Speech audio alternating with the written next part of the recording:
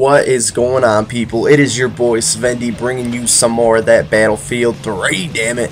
And we got some rush on Operation Firestorm. Now, this is a pretty badass gameplay. Um, myself, I was wrecking these dudes in the tank with a lot of help from Pyro. Um, we actually had a lot of members of the Sven-D army in this game, people that weren't even in my squad.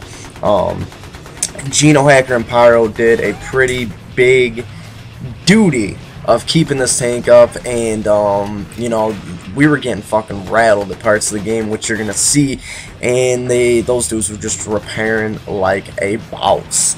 Um, so we are playing some rush operation firestorm if you know what i'm saying. And you know i gotta say from the time when the patch hit when i was you know pissing and moaning, oh, there's too much recoil, and they really screwed up the foregrip attachment, and oh my gosh, I don't even know, I don't, this doesn't even feel like the same game anymore. Oh my god, oh, yeah. From that time till now, my feelings have drastically changed. You know, it, it really, I realized that it was really nothing more than an adjustment period for myself. And I have no fucking clue what this dude in that tank was doing. He was sitting there just looking at me like, oh my gosh, you look marvelous. Where did you get that coating at? Da da da. And I just blew his ass to shit. But, um, you know, for anyone that has gotten discouraged from the patch, I can tell you that it will get better. It's just an adjustment period. Nothing more, nothing less. See, I'm just duping these dudes with a tank right here. The dude that I killed was actually a member of the Sven-D army as well. He was in the podcast on Saturday night. You may know him as Wayne. 3, 4, 5, 6, 7, 8, 9, damn it. And, furthermore, mm -mm -mm, go you know, the tank is an amazing weapon to use in this game, people, if used properly. Really, I think some of the better uses out of tanks are using them to kind of barrel through certain parts of a map if there's like a choke point. Um, using them to cover bombs after you plant them, or using them to cover, to cover bombs if you're defending and stuff like that. You know, it, a tank's not something you're just going to run right through and push right over. If you're working together as a team, you can take down tanks pretty quickly, but if you are working together as a team to keep that tank up and to use it to your advantage, it's going to be pretty fucking hard to get a tank down, as you can see. And even right here, while we're waiting to move up to the next set of objectives, you can see me and the other guy and the other tank on our team we were sitting there blowing holes in the building.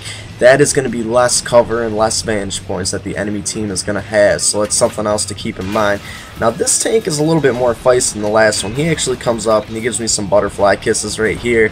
We're sitting there playing with each other, calling each other George and smacking each other's dogs. So I get out thinking the tank was going to explode.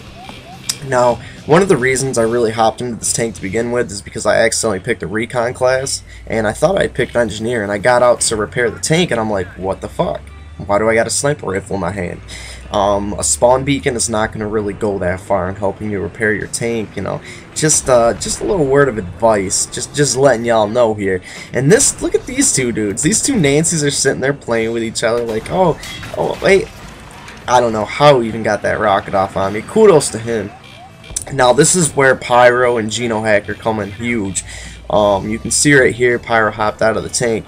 Now these dudes are all going to start pouring out of where I'm shooting towards. And, um, you know, I started using the uh, heat-seeking rockets or the laser designator rockets, whatever the fuck you want to call them, for the tanks instead of the Coaxial HMG or LMG rounds and um, so it's going to be a little bit harder to kill individual enemies.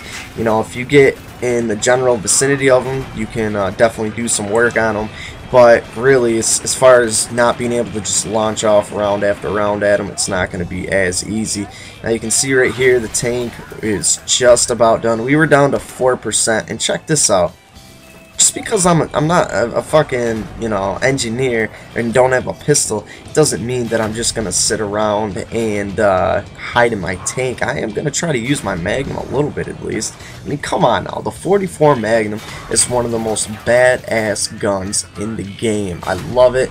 You know, I get a lot of one-shot kills with it. It is absolutely amazing. And honestly, people, I think a lot of people kind of sway towards the um, what you call it, the G18s, you know, fully auto pistol, da da da da da, I can camp like a noob and shoot off 20 rounds a second at you. It's whatever. And really, I don't know. I just like I, I like power over speed, I guess, or rate of fire for that sake. Um, the 44 Magnum's by far my favorite pistol. The G18 is good, uh, especially if you're, you know, more of a casual player beginning to this game, and you may not be as accurate as a lot of players that spend hours a day on this game. You know, it's it's really a good weapon in that sense. Gives you a little bit of an advantage for using your second uh, your secondary firearm, but overall, I prefer power over rate of fire. Everyone's got their preferences and their differences of opinion, so on and so forth. So, the other wonderful thing about this game, other than the fact that we just did work on these dudes with the tanks, is that we finished a game of Rush on Operation Firestorm in under 7 minutes, which could possibly be another Battlefield 3 world record, damn it, held by the Sven Army. If you guys can find a faster game, let me know. Post it as a video response, and I will change the title immediately. You can see right there, I get taken out. But that, my friends, is all she wrote. Until next time, people, it is your boy Sven-D. Be expecting an MVP gameplay on Wednesday and plenty more Battlefield 3 throughout the week. So until then, I will catch y'all later. Have a wonderful April Fool's Day. Much love to the Sven-D Army. Peace out.